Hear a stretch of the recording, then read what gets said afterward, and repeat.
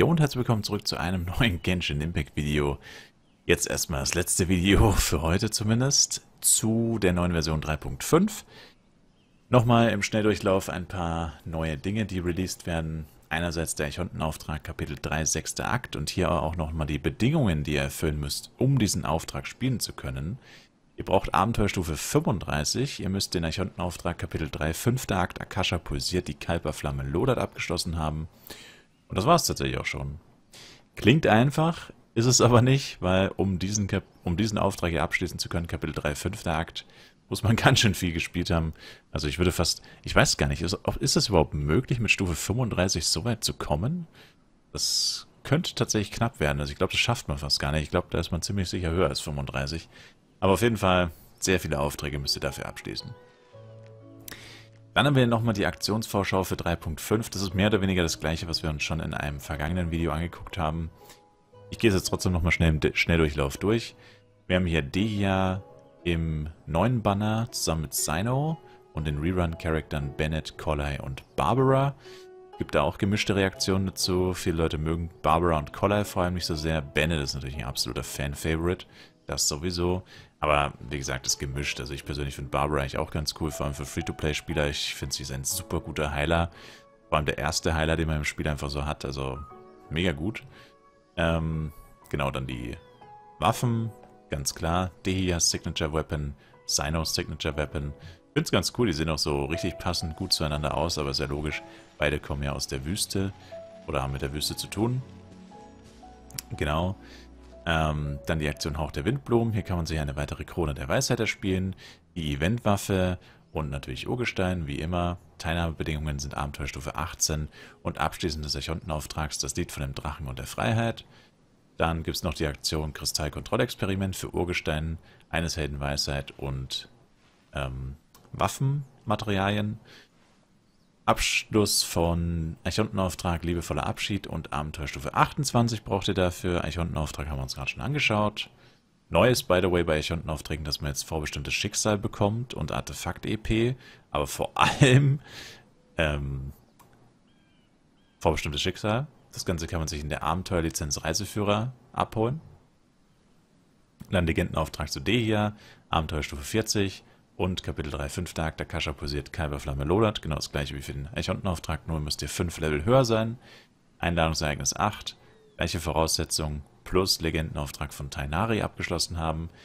Dann geniale Beschwörung Aktion, äh, Eskalationsmodus, Aktionszeitraum 11. bis 20. März. Hierfür müsst ihr Stufe 32 sein. Abschließend des Eichhontenauftrags, das Lied von dem Drachen und der Freiheit und des Weltauftrags Schlachtfeld von Würfeln, Katzen und Karten. Dann haben wir noch das Abenteuer-Beistandspaket. Ähm, ist wieder für den Cash-Shop im Endeffekt. Da will ich jetzt nicht so sehr drauf eingehen. Da weiß jeder selber, was er damit machen kann oder wird. Dann Erlebnispass, gibt es wieder die neuen Waffen. Abenteuerstufe 20 muss man dafür sein. Und das war es im Endeffekt auch schon. Also nur noch mal kurz im Schnelldurchlauf hier durchgescrollt.